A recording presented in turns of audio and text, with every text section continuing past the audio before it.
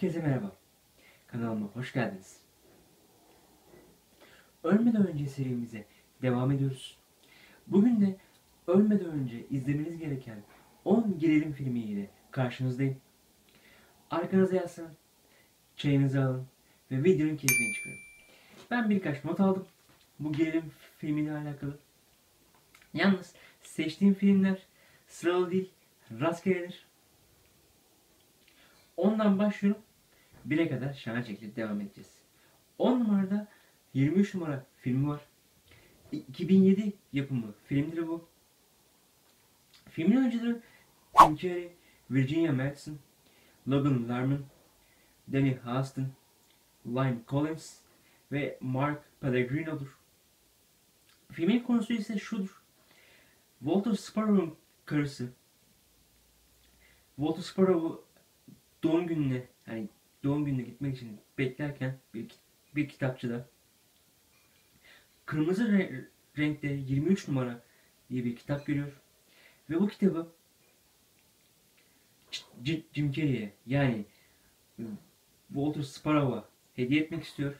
Ki- Kitabı aldığında ama hani kitabı alır ama hayatları tamamen değiş değişeceğinden habersizce alır. Gerçekten çok güzel bir filmdi. Özellikle Jim Carrey'in oyunculuğu muazzamdı bu, bu filmde. Geçiyorum ben buradan 9. numaraya. 9. film Stay. 2005 yapımı filmdir. Filmin oyuncuları Ewan McGregor, Ryan Gosling, Kate Barton, Naomi Watts, Elizabeth Razor ve Bob Hazle'dir. Filmin konusu şudur. Başarılı bir psikiyatrist olan Sam Foster'ın ha, hayal gücü ve gerçeklik arasındaki çizgisini bu bulanıklaştığına şa- şahit olan bir e, doktorun filmini işler. Gerçekten hani çok güzel filmdir. Ö- özellikle hani filmin konusu zaten güzel ama filmin hikayesi ise bu filmi bambaşka yapıyor. Geçiyorum ben buradan 8. filmi. 8. film, filmim Identity. 2003 yapımı filmdir. Filmin oyuncuları John Cusack, Ray Liotta, Amanda Reed, Alfred Molina, William Lee Scott ve John McEnany'dir. Filmin konusu ise şudur. Bir kasırga sonrası izbe bir otele yerleşen bir grup insanın ha- hayat hikayesini an- anlatır. Gerçekten çok güzel bir filmdir. Özellikle hani o, otele yerleşmesinden sonra bu insanların o, o otelde tuhaf şeyler görmesini ve tuhaf hikayeleri başına ge- gelmesini iş- işler bu film. Müthiştir. Geçiyorum ben buna 7. filmime. 7. filmim Zodiac. 2007 yapımı filmdir. Filmin oyuncuları Jake Gyllenhaal, Mark Ruffalo, Robert Downey Jr., Brian Cox, Bob Stevenson ve John Lacey'dir. Filmin konusu ise şudur. Francisco, yani San Francisco'da bir seri katil sürekli polis merkezine mektup ve şifreli me- mesajlar yollar ve sürekli polislerle dalga geçer. Aynı zamanda iki dedektif bu seri katilin peşine düşer. Çok güzel bir hikayesi vardır bu filmin. İzlemenizi tavsiye ederim. Geçiyorum ben buradan 6. filmime. 6. filmim Makinist. 2004 yapımı filmdir. Filmin oyuncuları Kristen Bale, Jennifer Jason Leigh, John Sheridan, Lawrence Gillard ve Anna Macy'dir. Filmin konusu şudur. Trevor bir fabrikada işçi olarak çalışıyordur. Ama Trevor'ın bir sorunu vardır.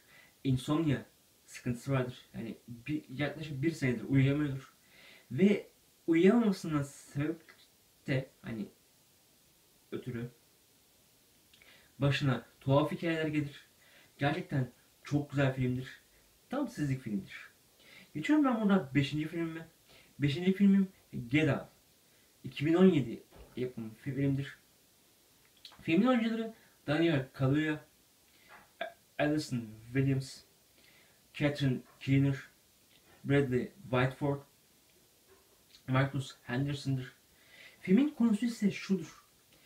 Chris'in Rose ile güzel bir birlikteliği, güzel bir ilişkisi vardır.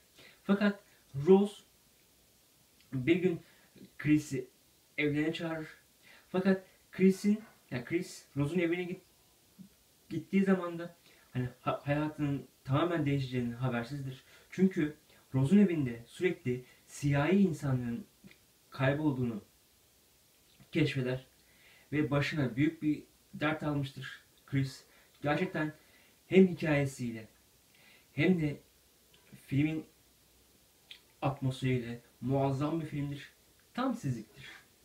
Geçiyorum ben buradan dördüncüye. Dördüncü filmim Seven. 1995 yapımı filmdir. Filmin oyuncuları Margot Freeman, Daniel Zakabi, Brad Pitt, Gwyneth Paltrow, Andrew Kevin Walker'dır. Filmin konusu ise şudur. Seri cinayetleri işleyen bir katilin peşine iki dedektif düşer. Ve bu iki dedektif bu, bu katili yakalamaya çalışır. Gerçekten çok güzel bir filmdir. Özellikle Morgan Freeman ve Brad Pitt'in oyunculuğuyla film arşa çıkıyor. Tam sizlik filmdir. Geçiyorum ben buna üçüncü filme. Üçüncü filmim The Game filmdir. 1977 yapımı fi- filmdir.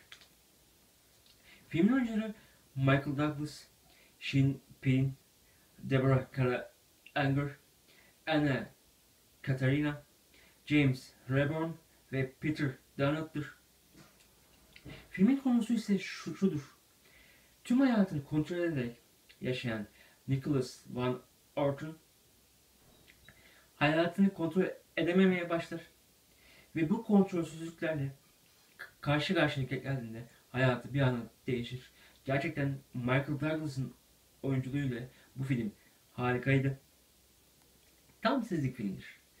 İkinci, ikinci filmim American Psycho. 2000 yapımı filmidir bu. Filmin oyuncuları Kristen Bale, John Lucas, Bill Sage, Jared Leto, William Dafoe, Reese Witherspoon'dur. Filmin konusu şudur. Patrick Bateman aileden zengin bir adamdır. Fakat sıradan görünmeye çalışan bir aslında katildir. Yani canı isteyince adam öldüren bir e, insandır Patrick Bateman. Ve fi- filmde Patrick Bateman'ın yani na- nasıl bir psikopat olduğunu işler. Çok güzel filmdir. Özellikle Kristen Bale oyunculuğu muazzamdır. Geçiyorum ben buradan birinci filmi. Bi- Birinci filmim Split. 2016 yapımı filmdir. Filmin oyuncuları J- James McAvoy, Anna Taylor-Joy, Beth Buckley, Haley Lu Richardson ve Jessica Sula'dır. Filmin konusu şudur. Aslında bir gerçek hikayeye dayanan filmin filmdir bu. Çoklu kişilik bozukluğu olan Ke- Kevin'in hay- hayat hikayesinin anlatıldığı filmdir. Özellikle James McAvoy'un oyunculuğu muazzamdır. İ- inanılmaz bir seviyede oyunculukla filmi arşa çıkarıyor. Süper bir filmdir. Tam sizliktir. Bugün de böyle videosun. Yarın da güzel bir video gelecek. Söyler misiniz? Sizin e- en çok beğendiğiniz gerilim filmi hangisi? Onu da yorumlara yazarsanız çok güzel olur.